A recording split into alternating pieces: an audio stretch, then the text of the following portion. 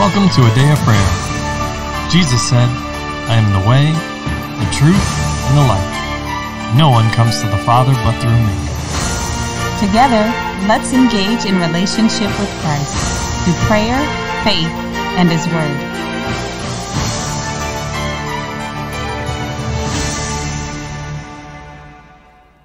Good morning, everybody. My name is Layla, and you're listening to a Day of Prayers morning Bible study. We're so glad you could join us this morning, but before we get into the Word, let's take a moment and pray. God, we just thank you for who you are, Lord, and the joy that you bring to our lives, God. That we can rejoice in you, Lord, and that we have victory, Lord, that we're untouched by the enemy and what he's doing in the world, Lord. That you keep us and you protect protect us, Lord, and that you bring those that you have called into your fold, Lord, and that we get, we are able to help them, Lord, that we can walk beside them.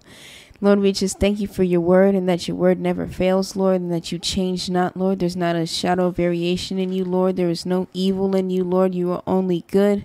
And we just thank you for your goodness today. In Jesus' name, amen. In Jesus' name, amen. And amen. Well, good morning and welcome, everybody. We are glad to have you with us as we continue to discuss and study the Lord's house. And at this point, we are going over the garments for the priesthood and the breastplate. But before we get into the word, I just want to ask that you would like, subscribe, and share this episode um, if you're blessed by it and have the intention of being a blessing to others, our, ourselves included. Because we're definitely blessed when you know more people subscribe and more people share because we are focused on fulfilling all the Lord has I'll say, commanded us to do, which is to preach the word and to the four corners of the earth. Mm-hmm. So that everyone has the opportunity to hear the gospel and to learn and grow in knowledge, but in relationship with our Lord and Savior. That is the goal, and that's part of what He has commanded us to do in this ministry. So we just want to present the opportunity for each of you to assist and share in the, the labor, if you will. And of, the blessing. And the blessing of doing that, yes. So, that being said, can I get a volunteer to read from Exodus 28, verses 15 through 30, please? I will. All right, sir. You shall make the breastplate of judgment, artistically woven according to the workmanship of the ephod. You shall make it of gold, blue, purple, and scarlet thread, and fine woven linen. You shall make it.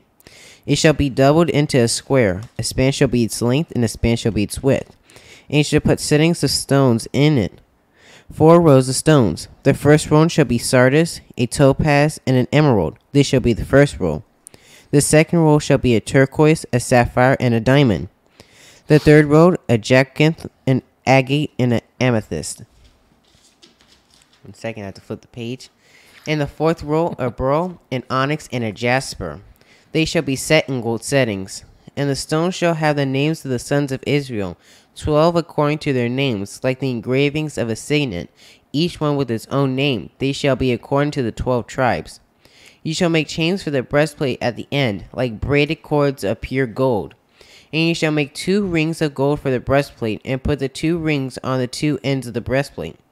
Then you shall put the two braided chains of gold in the two rings which are on the ends of the breastplate and the other two ends of the two braided chains you shall fasten to the two settings, and put them on the shoulder straps of the ephod in the front. You shall make two rings of gold, and put them on the two ends of the breastplate, on the edge of it, which is on the which is on the inner side of the ephod. And two other rings of gold you shall make, and put them on the sh- two shoulder straps, underneath the ephod, towards its front, right at the seam above the intricately woven band of the ephod. Then you shall bind the breastplate by means of its rings to the rings of the ephod, using a blue cord, so that it is above the intricately woven band of the ephod, and so that the breastplate does not come loose from the ephod. So Aaron shall bear the names of the sons of Israel on the breastplate of judgment over his heart when he goes into the holy place, as a memorial before the Lord continually. And you shall put in the breastplate of judgment the Urim and the Thummim and they shall be over Aaron's heart when he goes in before the Lord. So Aaron shall bear ju- bear the judgment of the children of Israel over his heart before the Lord continually. Mm-hmm. Amen. Now, I know we talked about a lot of different things in the previous episodes, right? Um, but there's so much more in this. So, I want to begin by saying this, right? We, I think we might have briefly mentioned the rings of gold for the breastplate, right? Gold represents what again? Divine nature. The divine nature, right? Because it's been purified, it's been, right, has no sin and iniquity and all those blemishes, right? Yes. Impurities in it, unlike brass, right? Yes. Okay. Brass representing human nature. So the rings were of gold for the breastplate, right? And there were to be two of them. So, what does two represent?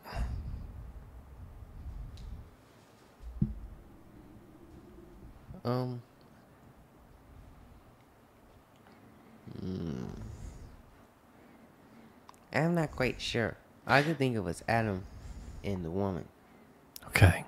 So that would be union or unity, right? Agreement. yes. Okay. So notice that there are two rings, and then there are two braided chains of gold, right? And that's in verses 23 and 24, right? And so as we were reading, of course, uh, well, not of course, but um, I was reminded of Ecclesiastes uh, 4:12, where it says, um, "Though one may be overpowered, two can defend themselves." Right? Because these were braided chains of gold, right? Uh, and then, of course, it continues and says, uh, "A cord of three strands is not easily broken." Right? However, Amos says this, right? Going back to two and how it represents union and unity, right? A walking together. In Amos 3 3, there's the question How can two walk together unless they agree? Everybody get that? Mm-hmm. Yes. Okay. So we have to come into agreement, alignment with God to walk with Him. And that is the only way we can walk in perfection, being holy because He is holy, right? And that we commanded Moses to do in Genesis 17, right? The Lord goes before him and He says, So be holy, for I am holy. But then there's the other aspect because the chains connect to the gold rings, right? Mm-hmm. So there is a clinging to that must be had. Right? We said how, how all of this represents it's a type and shadow of what already exists in the heavenlies. Also, it represents our Lord and Savior Jesus Christ. And then three, the third thing, is that it is a representation, a pattern, an example for us to follow. Right? So, in this, there is a demonstration of how we are to cling to or depend on the Lord for our everything. And there are a number of different verses, right? Um, Deuteronomy 10:20. You shall fear the Lord your God, you shall serve him and cling to him, and you shall swear by his name. Deuteronomy 13:4. You shall follow the Lord your God and fear him, and you shall keep his commandments, listen to his voice, serve him, and cling to him. Joshua in 23:8, Joshua 23:8 says, "But you are to cling to the Lord your God as you have done to this day." This is of course talking about the follow-on generation that entered into the promised land. Right? Um, go back to Deuteronomy 11. For if you are careful to keep all this commandment which I am commanding you to do, to love the Lord your God, to walk in all his ways, and to hold fast to him. Right? Um, oh, excuse me. 2 Kings 18.6. For he clung to the Lord. He did not depart from following him, but kept his commandments which the Lord had commanded Moses. Psalm 63 8 My soul clings to you, your right hand upholds me. And then Jeremiah 13 11 For as the waistband clings to the waist of a man, so I made the whole household of Israel and the whole household of Judah cling to me, declares the Lord, that they might be for me a people for renown, renown, mm-hmm. for praise and for glory. But they did not listen. This matters. Right? Because we already talked about in this this breastplate, it is a representation of what exists in the heavenlies, right? Talking about how it's a perfect square, and if you look at Revelation, it describes heaven as a perfect square, or the heavenly community, right?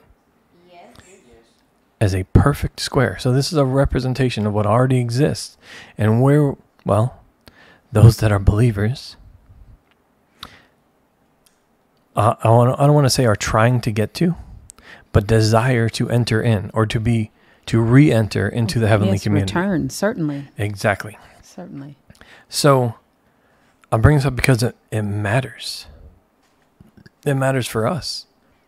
But the Lord is already giving a demonstration, a physical demonstration that people can look could look upon to see how it all works, how it's all connected. Mm-hmm. And by that I mean this is how you get to re-enter the community. Trust in the Lord with all your mind, heart, body, soul, strength. Depend on Him. Cling to Him for your everything. Mm-hmm. He's already provided it. We're His children. It was meant there for, He gave it for us. He gave Himself for us. Does everybody get that? Is everybody tracking? Yes. Um. So, I mean, there's huge significance, uh, like we have been saying throughout this whole study. Our God is a God of details. No detail is too small. Right? Yes. Um no detail is too small. Including even where the breastplate sat, over the heart. And we said this in a previous podcast, but where your treasure is, there your heart is also. Right? Yes. Christ's home, as our home, is in heaven. His desire was to be pleasing to the Father. He clung to him. He did not say anything of his own initiative. He did not do anything of his own initiative. He only said and did what the Father commanded through his Holy Spirit. It's the exact same for us. So I just want to say that, and I want to open up the floor for each of you to to share what the Holy Spirit is speaking and ministering to you, and ask any questions if you have them. So, who'd like to begin? I have a quick question. All right, Layla. The Urim and the Thummim, what is that for? Like, I thought it was like Yahtzee dice or maybe Monopoly dice, and they're playing like one of those games and like Ah. rolling it to see how many steps left and how many steps forward. But, uh, Mr. Dean. It's not Yahtzee. Definitely not Yahtzee. Um, let me get there. So that's in verse 30, right? Yes. Um, so uh, I'm going to take a page out of Dean's book here. Oh, you got an interlinear up already? I was going to head to it. Okay, well, please, yeah, go for it there, brother. Uh, I love that you go there so so often and so quickly. Well, it's just because we have all these wonderful electronic apps that make it so easy to do it. So uh, the Urim, uh, the Urim is a noun, masculine. Uh, actually, it's um, Urim. That's right. Yes, part of the high priest breastplate. Um, the origin is a plural of ur, lights, the or oracular, oracular, oracular, Uh, brilliancy of the figures of the high priest's breastplate. I don't know if that gives us any enlightenment there, too. But you were asking. At uh, least I know they're not yelling Yahtzee over a table and That dancing in the Philistine's the face. tu- The tumim hmm is a plural of tom, perfections, one of the epaulets of the objects in the high priest's breastplate, as an emblem of complete truth. hmm And since it was used to get guidance from God, then complete truth would certainly be appropriate there, wouldn't it? Absolutely. That's all he has is the truth. That is all he has. But Has and is. That's so right. so again, is the way, the truth. amen. He has the truth. He is the truth. Amen. So so I've got a few scriptures for everybody to look up, right? Um uh Charles, go to Leviticus 8 8, Promise, Numbers twenty seven twenty one, Layla, Deuteronomy thirty three eight.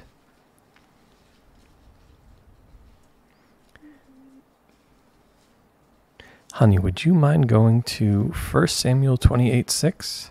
Sure. Dean, would you mind looking up Ezra 2, verse 63? And I need one more for Nehemiah. You say Ezra two sixty three. Yes. And then if one more volunteer could go to Nehemiah 765. I'll go there. So these are other places in Scripture where the Urim and Thummim are mentioned. Okay? Are you ready, sir? Do you mind reading your first Uh, one? Excuse me, Dad. You said Leviticus eight. Um, Eight?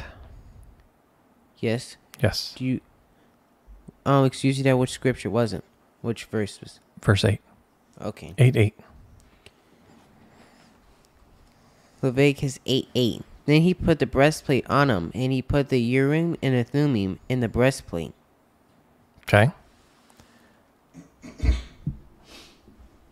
Promise? Joe, mine was. No, Numbers number- 27 21. Oh, sorry. I'm in 21.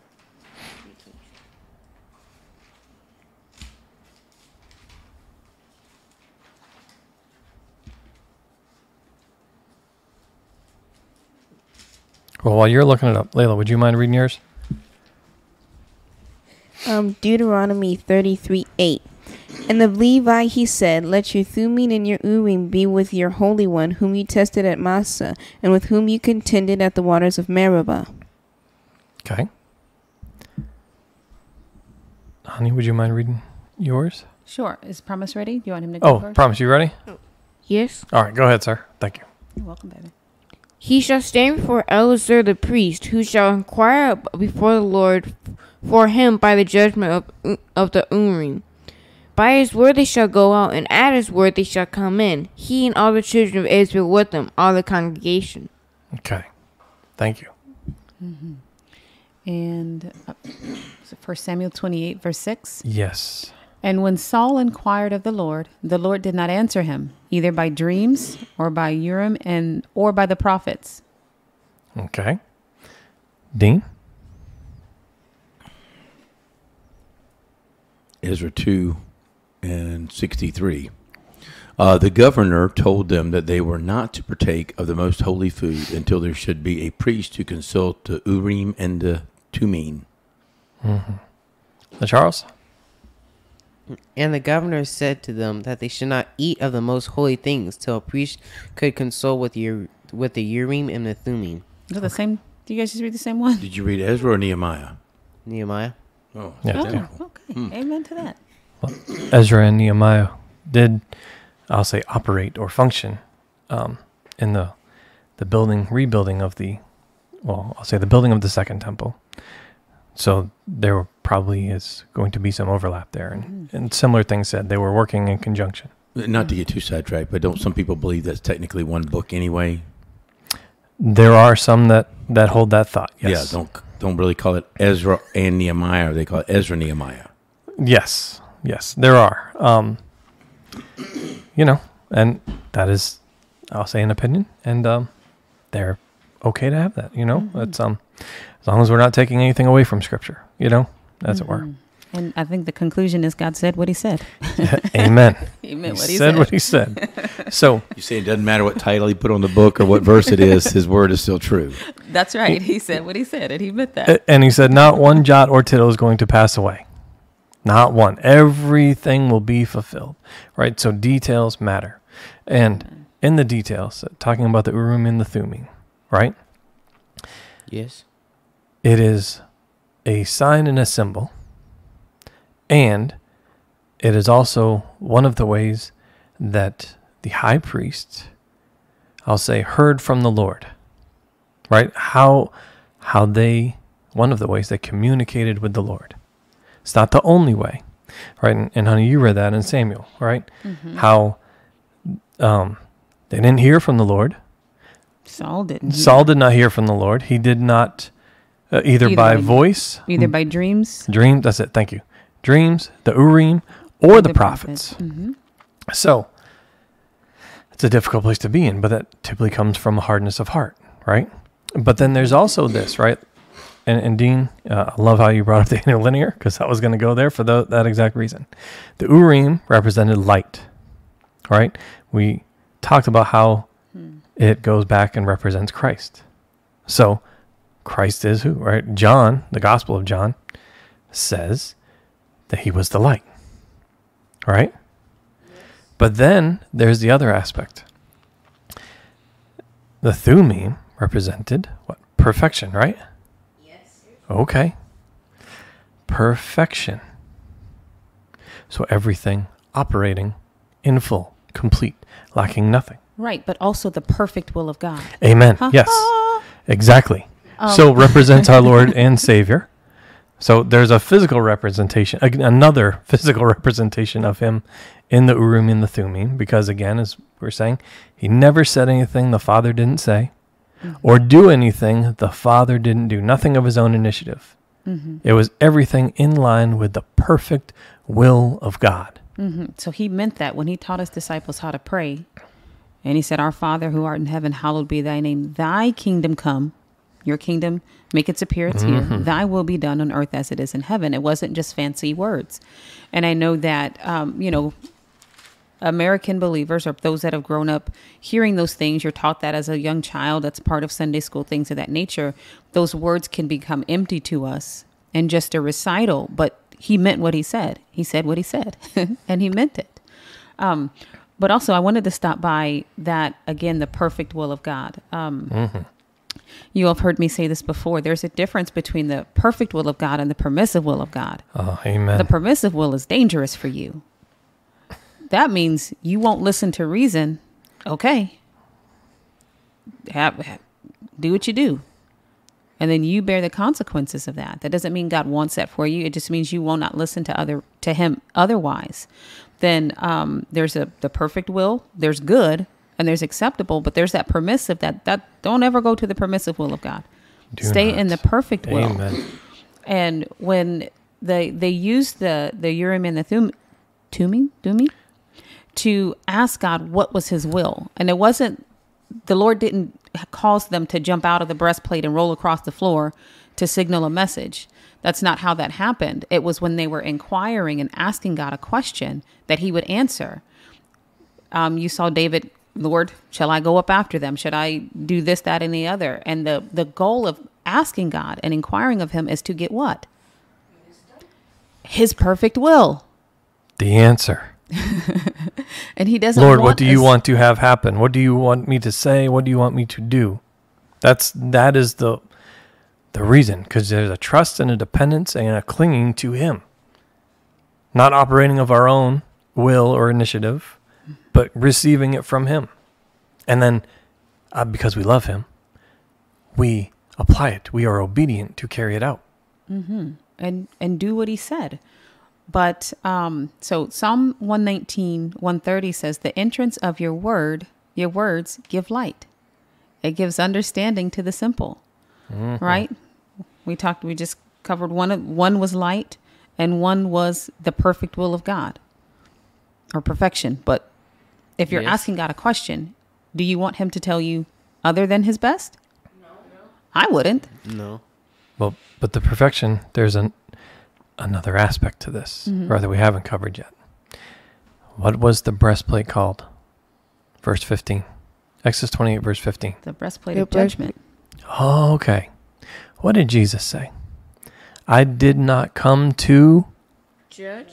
judge, but if I do judge, my judgment is Righteous or no. Wait.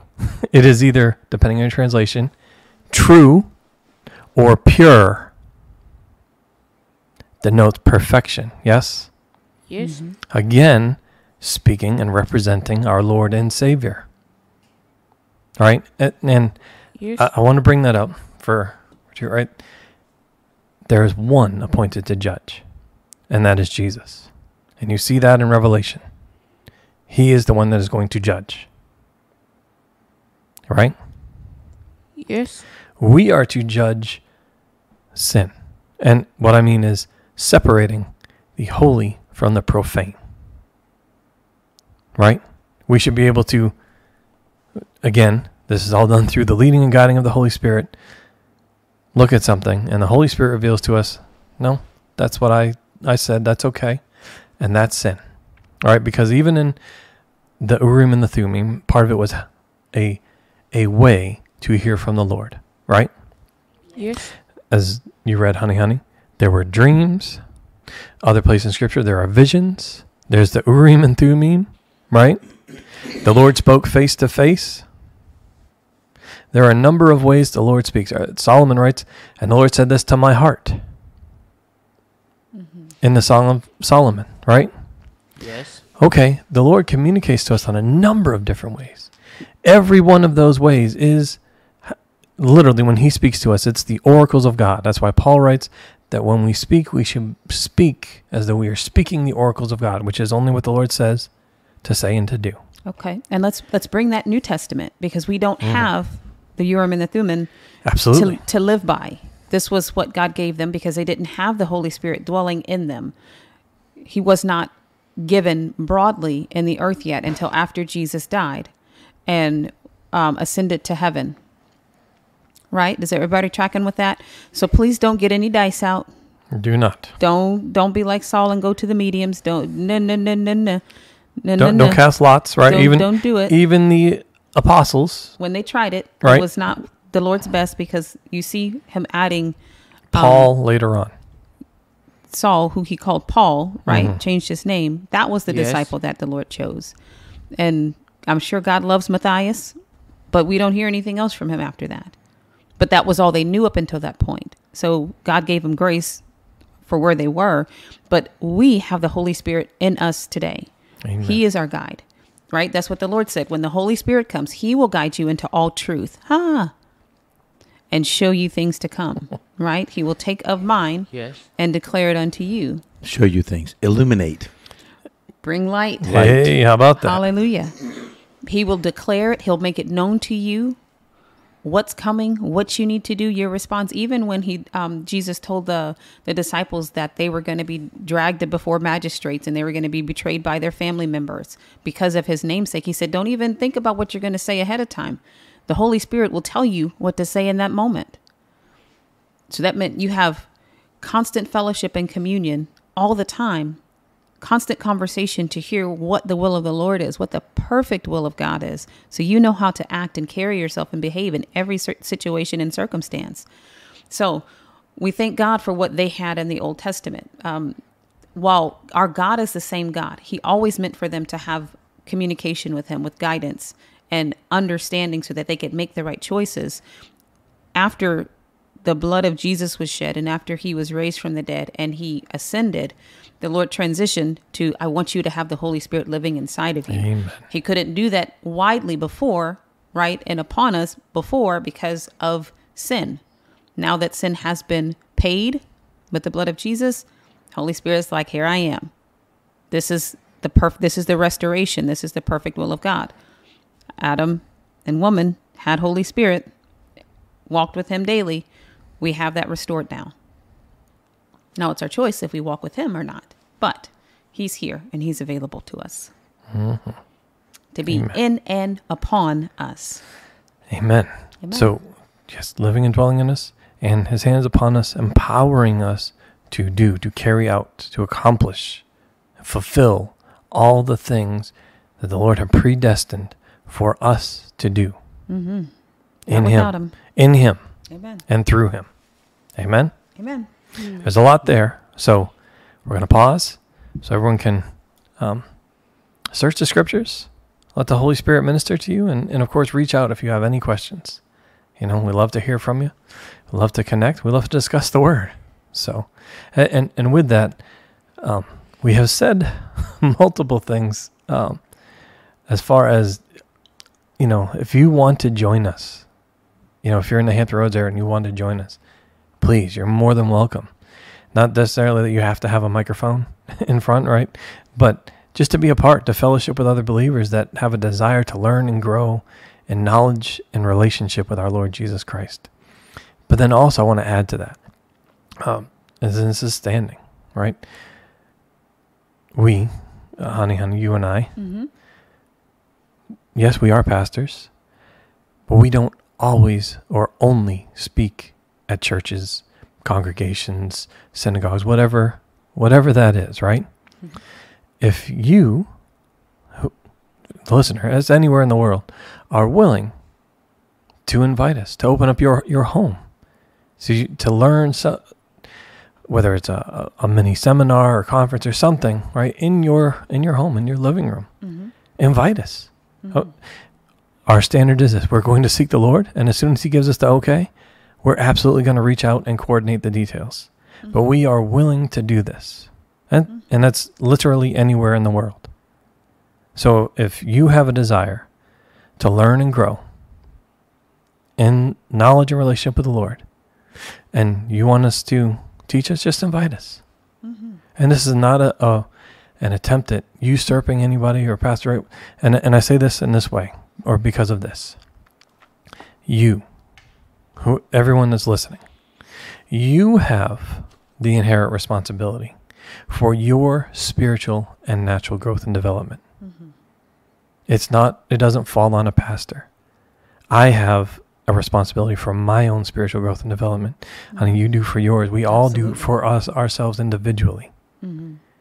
And yes, the Lord has given people that can help us learn and grow in in the knowledge of him and in relationship with him, actually knowing God, not just about him. Mm-hmm. Right? But we also have a role to play in that individually. Mm-hmm. So I just want to encourage you and and this is a, a standing thing, right? If you have a desire, just invite us. We're going to seek the Lord. And as soon as he gives the okay, well, we're coordinating and we will come. And and get to know you and connect and fellowship and we're going to learn and grow in the Lord together. So, that being said, we're going to pause there. Can I get a volunteer to close us in prayer, please? I will. All right, promise. Lord, I just thank you for today. I just thank you for giving us your best so that we can, so that we know that we're loved, Lord. Lord, I also just thank you for showing your love and just telling us. Lord, I also just thank you for giving us everything we need so that we don't stumble. Mm-hmm. In the name of Jesus, amen. In Jesus' name, amen. And amen. Well, we love you. God bless you and have a wonderful day. We hope you've enjoyed listening to a Day of Prayers morning Bible study. This year, Pastor John and I are believing for 1,000 new partners to believe God with us and join in the work of the ministry. God is doing great things through a day of prayer, and we want you to be a part. If the Lord has placed on your heart to partner with us, please contact us online at a dayofprayer.org. Click on the menu and select partner. Complete the form, and we'd love to hear from you. Thank you again. God bless you. Have a wonderful day.